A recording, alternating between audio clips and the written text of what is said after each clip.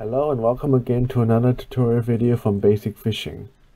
In my channel, I do some of my fishing off the wharf, and today I thought of making a tutorial video on how to get started with fishing off the wharf, and hopefully guide some people into the right direction with wharf fishing.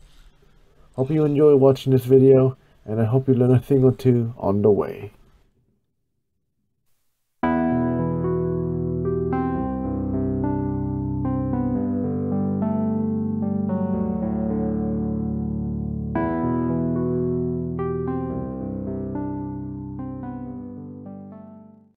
Start things off, I'll talk about why I am recommending for many beginners to start fishing off the wharf.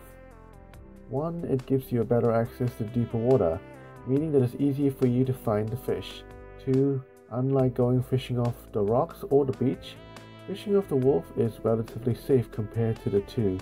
Three, is that depending on the location of the wharf or the size of it, it's pretty spacious, meaning that a lot of people can come around to fish or have some fun, or just to get some easy feed, and for sightseeing. It was also a great place to get children involved into fishing as well. Usually, most wharves are located in harbors where it's relatively safe and sheltered. There are many wharves to pick from, but I would recommend first going local and then see different places at some point. There are a lot of gears to pick from, and it can be tricky but to give you an idea, here is my personal favorite gear that I usually use whenever I go fishing off the wharf. A 10 feet telescopic rod is ideal. The size isn't too big nor too small, making it very comfortable to use. For my secondary equipment, I like to take a 6 to 7 feet rod. For reels, I prefer using between the 4000 to 6000 range, and for the weight of the main line, I recommend 20 pounds. This will allow you to fight big fish with relative ease and also allow you to pull up a big fish like an average sized kahawai up on the wharf depending on how high the wharf is. For hook styles, I prefer to use recurve hooks over suicide hooks. Suicide hooks can easily snag on the bottom but depending on where you fish as well as the fish swallowing the hook whole. You also need to strike in order to set the hook as well and sometimes it can be a bit frustrating if the hook doesn't set properly. Recurve hooks are more ideal because with recurve hooks a strike is not required and usually the hook gets set at the corner of the mouth which is ideal especially when you hook into an undersized fish such as snapper for example. For hook size I like to use between 3 to 4 barrows because these size aren't too big nor too small.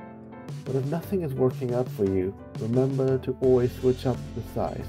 For example, if I keep on getting hooked into small snappers, I will switch my hook size bigger to avoid hooking into the small fish. For rigs, I like to use the ledger rig, running rig, at some occasion, flasher rigs and sabiki rigs. All these three rigs are super easy to use, make, and it's easy to switch different rigs if one doesn't work out.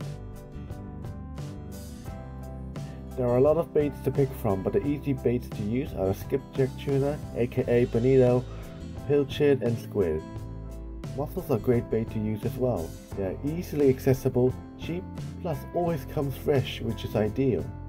Sometimes if I want to target a particular species such as parore, I would use weed for example, instead of mussels or pippies because no other fish will even eat weed, and often fish bait and shellfish often attracts the troublesome species instead.